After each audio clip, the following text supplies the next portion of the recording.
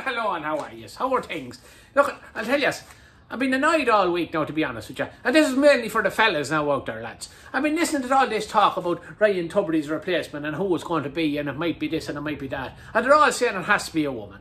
And I, don't know why it has to be a woman. Now, I'm not trying to be sexist or anything like that. I think every house deserves to have a, at least one woman in it, and no more than three anyway. But, but you know, they're saying it should be. A, but sure, the women are taking over television, for God's sake, lads. They're on everything. Let's list it out. They have the 6 1 News, right? They have Dancing with the Stars. They have Prime Time. They have Katie Hannon Live. They're Crime Line. They have the weather. The, the, the, even the Tonight Show. Then they have they have Nationwide. They have Operation Transformation. They have the Week in Politics. They have the Lotto Draw. The Nuacht. Ireland's Fittest Family, and even that Living with Lucy.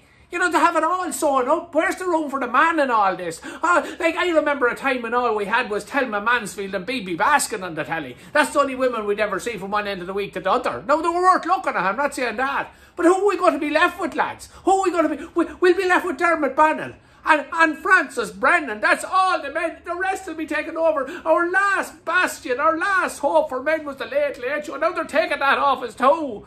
What can we do, lads? You know, not fair. And now we're going to have a woman Taoiseach next as well.